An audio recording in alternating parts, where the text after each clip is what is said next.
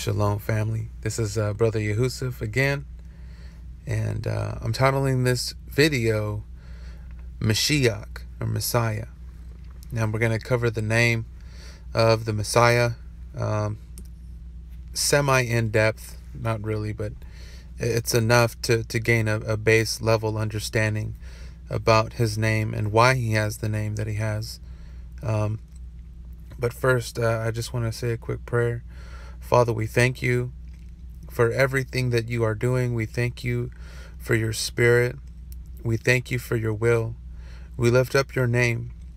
And Father, we just ask that you would continue to guide us into all truth. And we just praise your name, Yahuwah. And we just ask for favor. And I ask you, Father, that you would guide my words, guide this study. And I just pray that you would bless these words that they would break into the hearts of those that have the ears to hear. And and we just thank you and we love you. And in your son's name Yahushua HaMashiach we say Amen. So in this video we're going to be breaking into the concordance and we're just going to be breaking down a few things um, showing a few scriptures just so that you can get an understanding of who our Hebrew Mashiach is. So this is G2424. The G stands for Greek. Okay? Now this when you look in your Bible, this is what you're going to see. This is the name that you will see and this is the name that has been spread all throughout the world. Okay? And if you look at the bottom under help uh, word studies, it says that G2424 is the transliteration, not a translation, transliteration of the Hebrew word H3091. So this tells you, and obviously this is common knowledge, but the Greek name is not the original name. The original name is a Hebrew. Our Messiah, our Mashiach, is a Hebrew from the tribe of Judah, or Yehuda, which is one of the 12 tribes of Israel. The Messiah's name was first written in the book of Numbers, chapter 13 and verse 16. And these are the names of the men sent Moshe to spy out the land and named Moses, Moses named Husha, Lahusha, the son of Nun, Yahusha. Okay, Yod, Hey, Wa, Shin, Ayin. Five Hebrew letters.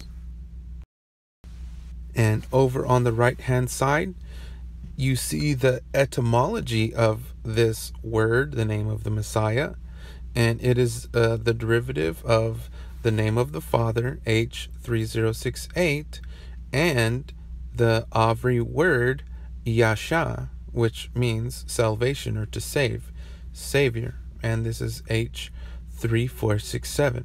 There are variants of spellings. You have the six letter and five letter variant um, but the oldest and original form of the name is the five letter version, which phonetically says Yahusha. And in Yahusha 1 1, it says, Now after the death of Moshe, the servant of Yahuwah, it came to pass that Yahuwah spake unto Yahusha, the son of Nun, Mo- Moshe minister saying, and I highlighted it in green. And uh, you see the the aleph and the lamed, um, and a little hash before the name. Um, but basically, this this is uh, kind of lifting up the name. It means al, and you know that's basically saying that this person is a like a mighty one al Yahusha, basically kind of lifting him up to to a position. you know, since he was the one that led the children of Israel into the promised land. And then this is the TS 2009 version of the Bible, um, which says the book of the genealogy of the of Yahushua Messiah, son of David, son of Abraham. And this is from um, the first chapter of Matithyahu. And we're going to take a quick look at one of the fragments found in the Dead Sea Scrolls in the, the, the caves of Qumran um, that were found in, in, um, in like the 1960s or something like that. Um, but basically, this is the fragments of Joshua chapter 6, 5, and 8. And you actually see the Yod He Uwa Shin Ayin, um, Yahusha, son of Nun. And keep in mind, this these scrolls um, predate the Messiah. These scrolls that they found are up to 300 BC, give or take a few years. Don't quote me on that.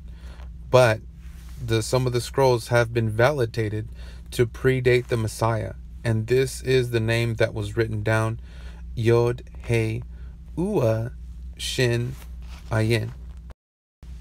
And one more portion of scripture regarding the validity of the name in um, TS 2009 Matithyahu 121 and she shall give birth to a son and you shall call his name Yahusha for he shall save his people from their sins and at the bottom okay in the brown driver Briggs concordance it shows you that the original form of the word was Yahusha then Yahushua and later Yeshua. Okay, so this these are the different variants of the name. Um, but to give full esteem to the name, I particularly choose to use the oldest and most original form of the name, and we're going to go over why this is. Here is Yeshua, a contracted form of the proper noun Yahusha and used in the later um, used in the later form in the Greek, Isus.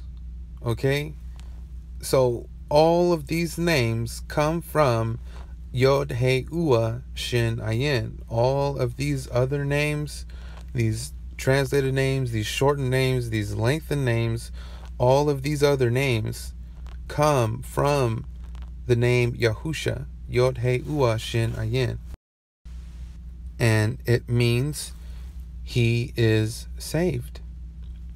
This is what Yeshua means. Yeshua means salvation, but it means that he is saved. Now, that's great, okay, but this name tells of the one who is saved opposed to being the actual Savior.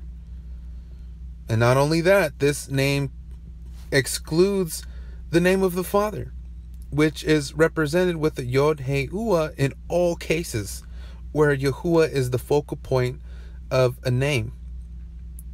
This this is always the case that the Yod He Ua is always in there to point directly to the Father.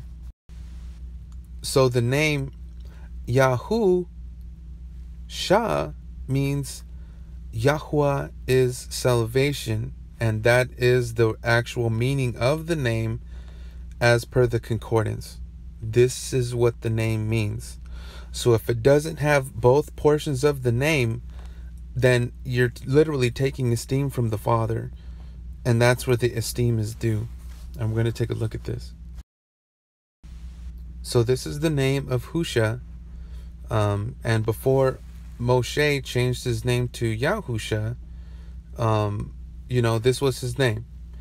Hey, Uwa Shin Ayin. And I'm sorry I didn't bring the concordance number on this one, um, but you, you could look it up. Um, but it's also a derivative of Yod Shin Ayin, Yasha, which means salvation. Okay? If you look at if you look at this name, it'll tell you that the root word is Yasha. So Husha also means salvation, but the reason why he changed his name, he changed his name from Husha to Yahusha. And the Most High doesn't do anything for no reason. Everything that he does has a divine reason behind it.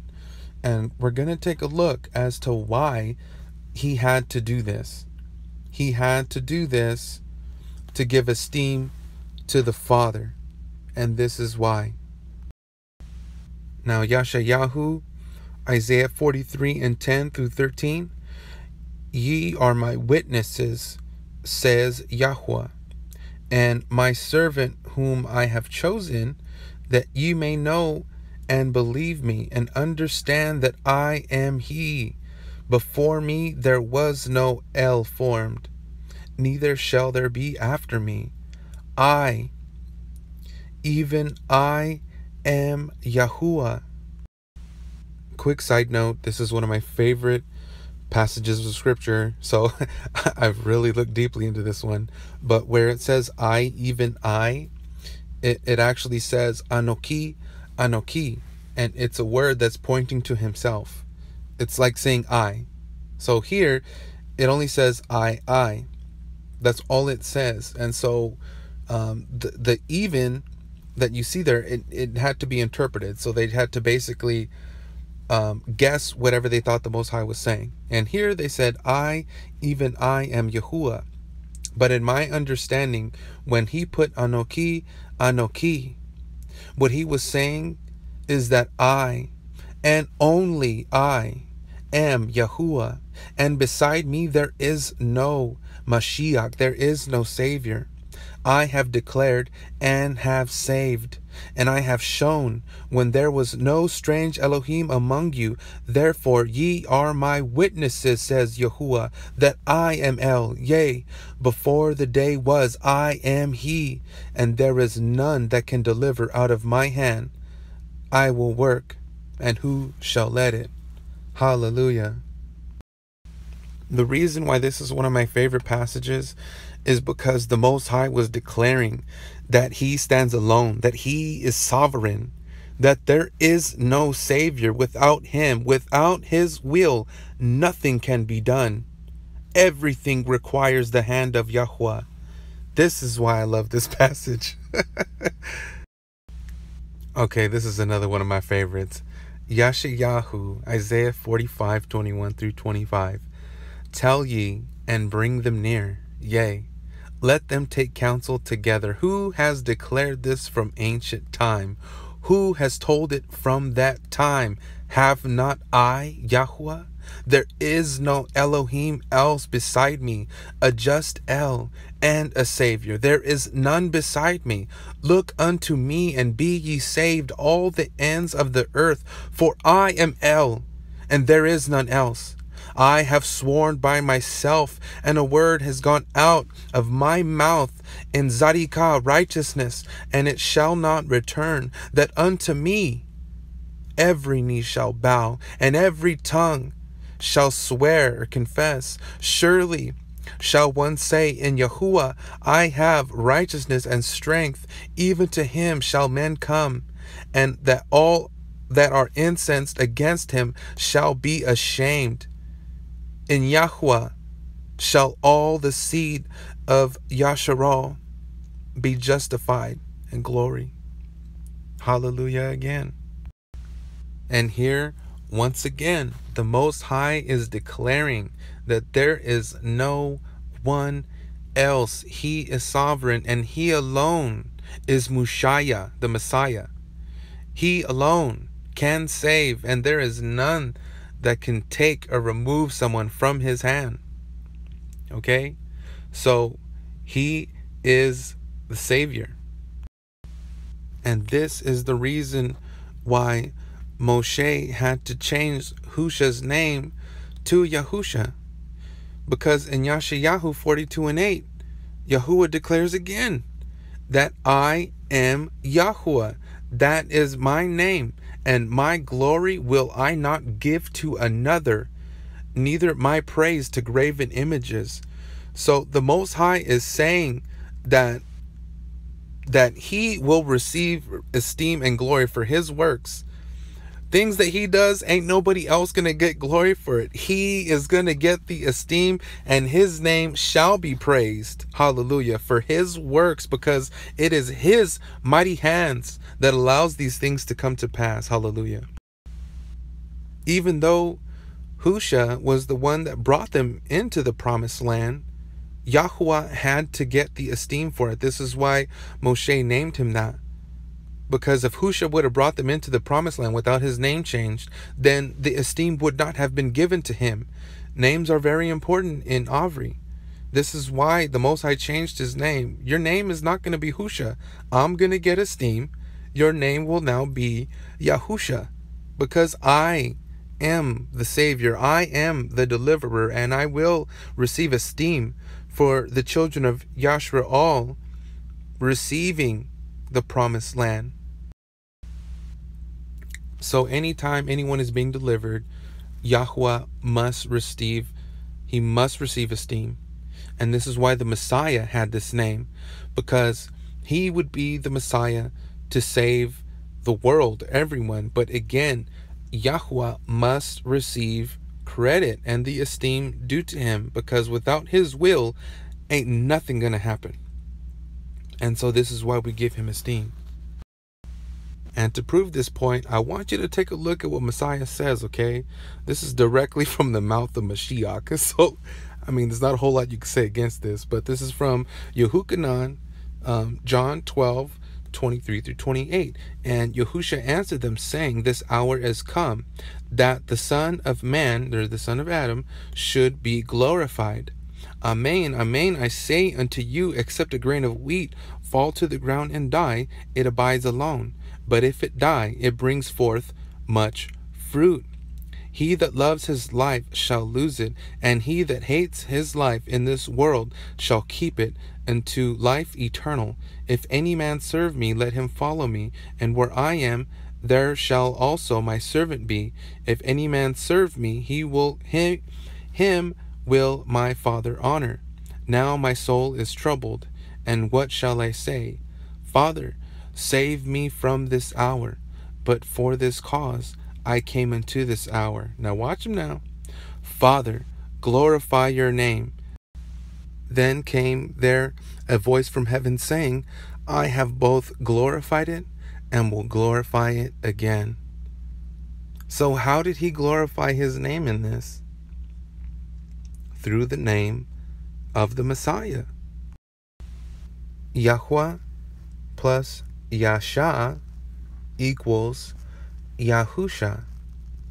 And again, Yasha means savior, deliverer, protector, you know, the, the shield, you know, the mighty one, you know, the supreme Elohim, the most high, you know, El Elyon, the most high El Yahuwah. You know, this is how he esteemed his name. He esteemed his own name through the name of the Messiah. This is why Yahusha said, I come in my Father's name, the fullness of his name, Yahu, Yahuwah. He is the Mushaya, he is Savior. This is why he said this I come in my Father's name. This is the words of Yahusha. And then he also said that if another man comes in his own name, him you would receive. He said that I come in my father's name and and you're not trying to hear me, but another man is going to come and the whole world is going to receive him. And I do not give esteem to that false name, that false Messiah, because that Greek name is key into the great delusion. That name was Satan's plan.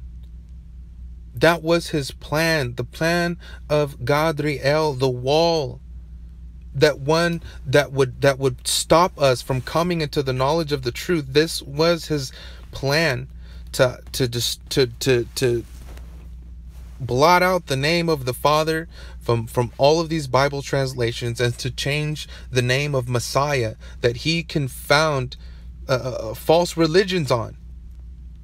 He founded false religions on this name. And I'm just a messenger. Because you know what? The Messiah's name gives full esteem to Yahuwah. Yahuwah is the Savior. This is why, this is why. Because Yahuwah is sovereign. He is sovereign. The Messiah would not have come if Yahweh didn't send him. He would have had no power. He would have had no abilities. And I'm going to bring out a study on this. But the Messiah said that he can do nothing of himself. That but only what he sees the Father do. This is what he does. He also said that his words are not his own. He only speaks that which the Father commands him to say. This is what he says. And his works is the works of the Father. He said that he came here to do the will of his Father, and that the Spirit of his Father that lives within him, that is the one that's doing all these things. That is the one walking on the water. That is the one raising these people from the dead. He is the one performing the miracles within me. I know this understanding might be kind of heavy for some people, but Yahweh must receive the esteem. I am simply trying to be a messenger for Yahweh because he needs to receive the esteem. So many people, you know, are, are praising this false Messiah and and it's literally taking all the esteem from the most high you know and, and, he put it in my heart that that to, to to tell people like hey like it's not just the messiah okay? Nothing gets done without yahweh you know? And he showed us his love through messiah. He showed us his love you know? The messiah came here to do his father's will and his father's will was to show him or to show us just how much he loves us. That he would bear the bruises that he would bear the crown that he would humble himself this is the will of Yahweh that he would show us just his how much he loves us he loves us unconditionally, no matter how dirty we are, no matter how filthy we are, no matter how unworthy we are. He counts us worthy, but by his love, by his mercy, does he count us worthy. Hallelujah. And I just, I, I we need to esteem his name. We need to lift up his name and give him credit for his works because he is worthy. He is worthy. When I was a Christian, I never understood why I didn't feel like I knew the Father. I felt like I knew J E S U S, and I had no relationship with the Father. He was this distant being. Who are you, Yahweh? My soul would cry out, and I would wonder, why don't I know you? And He sent me on a path to search for His name he sent me on a path to search for who He is, to really open my eyes to the scriptures, that I can see Him, that I, I feel like I'm, I'm getting an understanding of who He is, you know? A small portion of, of, of, of the, the fullness that, that I never had as a Christian. You know, I'm, I'm, I'm, I'm, I, I love Yahuwah. I love the Father. I, I, I feel like I know them now. Like I really do. Like just I, I just pray that, that you guys soak in his name, soak in the name of Yahuwah, soak in all that he is, soak in the love, you know, soak in his right ruling, soak in his judgments, soak in his instructions because they are the, are the instructions from a loving father. Let us not disregard his commandments. Let us not disregard his instructions as if his words don't mean anything. Let us turn back to Yahuwah let us practice avushat, that we would turn back to Him for love, for instructions in righteousness. He is the Elohim of Abraham, Yitzhak, and Yaakov, and He loves us. Hallelujah. And with that, I'll say shalom.